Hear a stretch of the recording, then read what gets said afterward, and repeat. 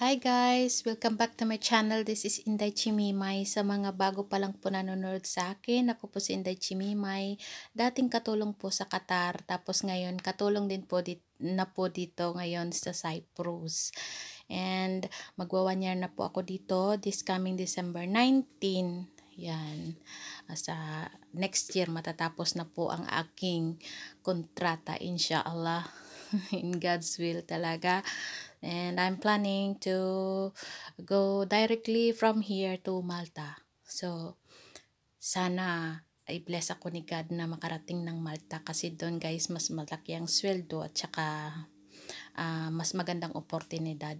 Uh, kasi po dito tayo sa Cyprus, dito ako ngayon sa Cyprus, medyo kasing yung sweldo po dito is uh, halos sa, kapareho lang po sa Middle East. So, after my contract here, inshallah, na maka-apply ako ng uh, Malta doon guys. Doble ang sweldo doon kaysa dito. So, yan.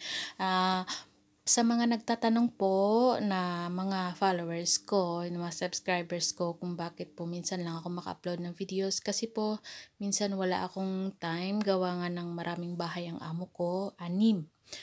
Pero hindi naman yun araw-araw nililinisan, alternate po yun. At may kasama din ako ditong Pinay and she will, this coming December 18, lilipad na rin siya papuntang Malta. Bali, after her con uh, fourth year contract, 2 years ang kontrata dito, kababalik niya, uh, bumalik na siya dito, so 4 years na siya ngayong March, pero nag-apply siya ng papuntang Malta, kaya aalis na rin siya uh, ngayong December 18 yata ang flight niya. So, meron akong magiging kasama dito na ex-abroad din dito sa Cyprus na uh, balik ka mag-anak ng kasama ko dito ngayon. So, yun ang makakasama ko. Nasa Pinas pa siya at nagpa-process ng papers papunta rito. So, ngayon, guys, nandito ako sa kwarto ng alaga naming babae magpapalit ako ng bedsheet niya. Yung alaga naming babae. Dalawa nga alaga namin ditong bata. Isang lalaki, 10 years old at isang babae, 8 years old. So, yung baby baby girl namin dito, itong kwarto niya. My N. It means Nikki. Nikki kasi pangalan niya. Tapos, dami-dami niyang toys, guys. Dami-dami. Lahat itong nandito, nandito yan sa bed niya nakalagay. So, magpapalit tayo ng bedsheet niya.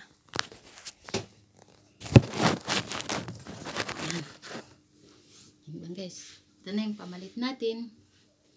So, una po natin ilalagay ang cover ng kanyang bed.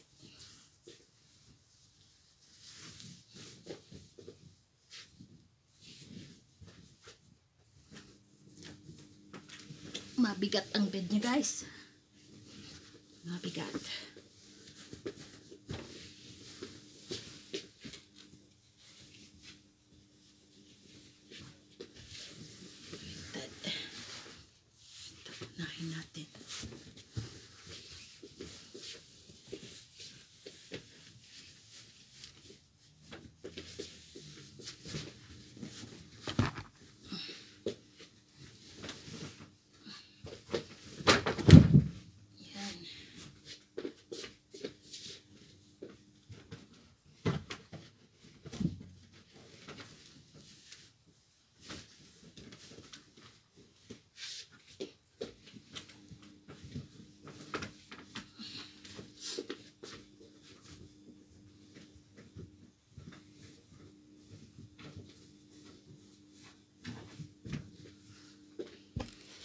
dahil winter po ngayon, December po. Ngayon po, ang date is December, ano tayo ngayon?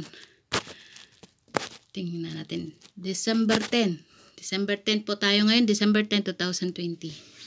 So, pagkatapos ilagay ang, ang cover ng kanyang bed, ilalagay ko itong unang sapin. Manipis lang. Parang alpombra.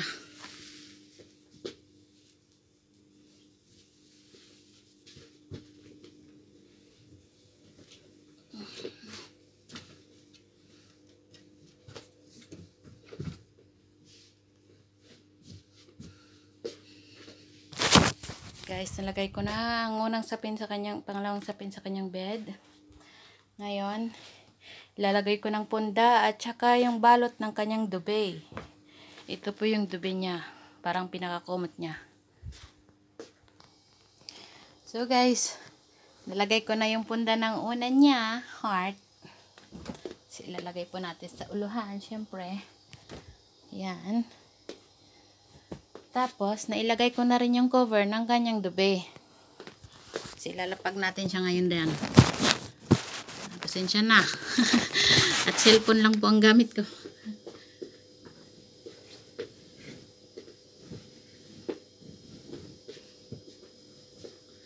Um, bago po natin pala ilagay yung kanyang dube, ang alaga ko ay maarti. So, ilalagay ko ito dito. Hmm. Yan, gusto niya. Yan.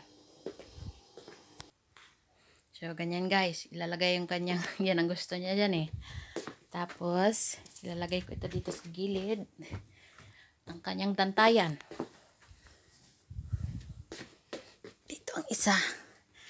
Tapos, isasara natin to. Tatabingan natin yan. Yan.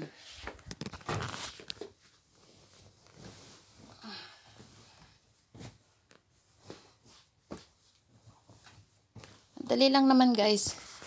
Pagdating nyo dito, malalaman nyo rin kasi tuturuan din kayo.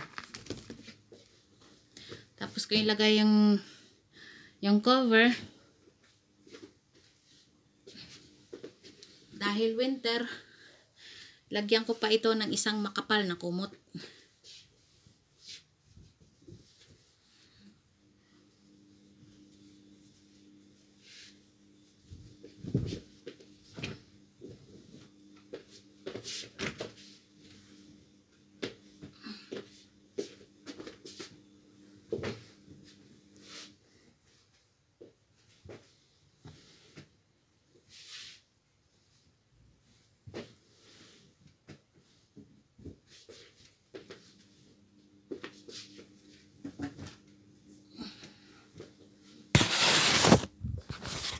So, ayan guys, ang kanyang bed. So, ayan na guys, ang kanyang bed. Yan, natabunan na lahat, pati unan. Tapos, ilalagay ko tong kanyang mga stuffed toys.